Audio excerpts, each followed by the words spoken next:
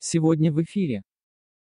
Долгий путь к диплому в США существует около 120 медицинских школ или медицинских университетов, как сказали бы России. Напомню, только студенты с лучшими оценками принимаются в медицинские школы. Первую часть рассказа об образовании врачей в США читайте здесь, каждая из них устанавливает собственные стандарты и процедуру отбора. Ежегодно издается справочник Medical School Admission Requirements, содержащий набор требований к поступающему в каждую из медицинских школ и статистику по результатам вступительных экзаменов прошлого года. Но вступительный тест MCAT, разработанный EMC в сотрудничестве с медицинскими школами Америки и Канады, одинаково ждет всех абитуриентов. О нем мы уже говорили. В некоторых школах действует программа двойного диплома MD-PhD, Doctor of Medicine, Doctor of Philosophy. Однако около 98% всех выпускников медиков получают один диплом MD. Есть еще диплом MD, MBA, Doctor of Medicine, Master of Business Administration, медицина плюс бизнес, но это встречается еще реже. Продолжительность обучения на MD PhD составляет 7-8 лет, это примерно в два раза дольше, чем на MD. Лучшими медицинскими университетами США считаются Вашингтонский университет, Орегонский университет медицины и науки, Университет Миннесоты, колледж остеопатической медицины Мичиганского государственного университета, Калифорнийский университет в Сан-Диего, Университет Висконсина, Университет Нью-Мехико, Университет Рочестера, Университет Айовы. Традиционно обучение в медицинской школе продолжается 4 года, из них половина срока – лекции и лабораторные работы. Затем, столько же клиническая практика. Первые два года изучаются анатомия, биохимия, патология, физиология, фармакология, гистология и микробиология. Наиболее впечатляет в это время первый опыт работы в анатомической лаборатории.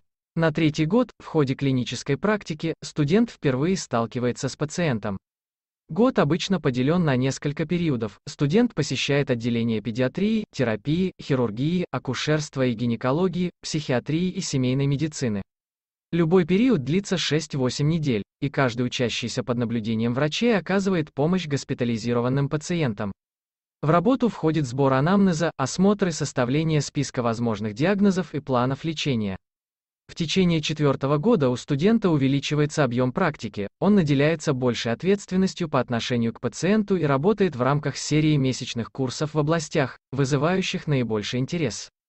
Например, студент, интересующийся педиатрией, может провести один месяц обучения в отделении детской кардиологии.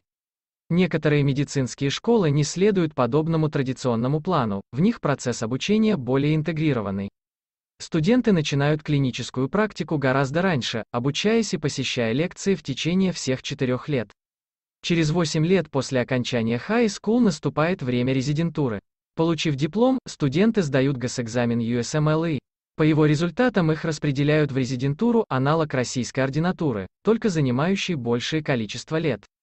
Резидентура в США – последипломная больничная подготовка врачей, предусматривающая специализацию в течение одного года интерном и в течение 3-8 лет резидентом. Например, студенты, интересующиеся педиатрией, обращаются за резидентурой в детские больницы, а желающие стать хирургами – в хирургические отделения университетских клиник. Поступление в резидентуру, как и в медицинскую школу, процесс, отмеченный высокой конкуренцией. Приемные комиссии отбирают студентов с лучшими оценками, а также благосклонно относятся к тем, кто был волонтером и помогал другим, выполнявшим научные работы, кто хорошо зарекомендовал себя во время собеседования. На время прохождения резидентуры молодой специалист нанимается госпиталем, получает зарплату, работает около 60-80 часов в неделю и оказывает помощь как госпитализированным, так и амбулаторным пациентам, но под руководством более квалифицированного врача. Резидент может быть первым врачом при контакте с пациентом, однако прежде чем начать лечение он обращается за советом к более опытному коллеге. По завершении этого уровня специализации выпускник становится полностью лицензированным врачом. Он может работать терапевтом и оказывать помощь в частной практике. Например, выпускник резидентуры по педиатрии может работать педиатром в клинике в составе группы педиатров. Альтернативой может быть получение дополнительного, узкоспециализированного образования в определенной области. Тогда оно называется филлоушип и включает обучение еще в течение 3-6 лет. Например, после окончания резидентуры по педиатрии молодой врач может выбрать дополнительное четырехлетнее обучение, чтобы стать гастроэнтерологом. Общая картина получения разрешения на самостоятельную практику приблизительно следующая. Если вы собираетесь работать в скорой медицинской помощи, потребуется 3-4 года, заняться семейной практикой или педиатрией – 3 года. Гинекология и психиатрия займут 4 добавочных года. Урология и общая хирургия по 5 лет.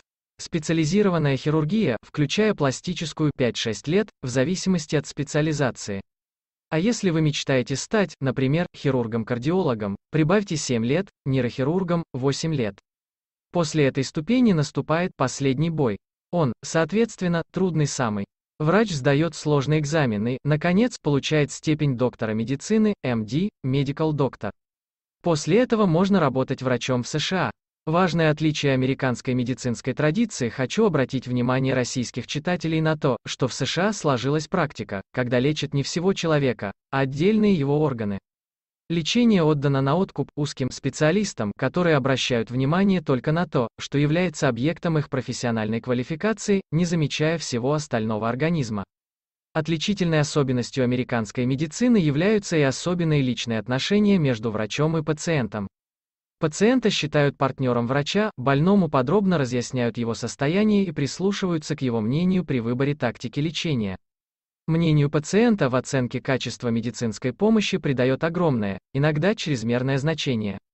Такое положение, по мнению ряда экспертов, ведет к искажению оценки, поскольку пациент всегда субъективен и далеко не всегда способен объективно оценить качество обслуживания. Такое положение вещей, скорее всего, связано с боязнью судебных исков. Пол Фрумкин, США, продолжение следует источник, ria-ami.ru.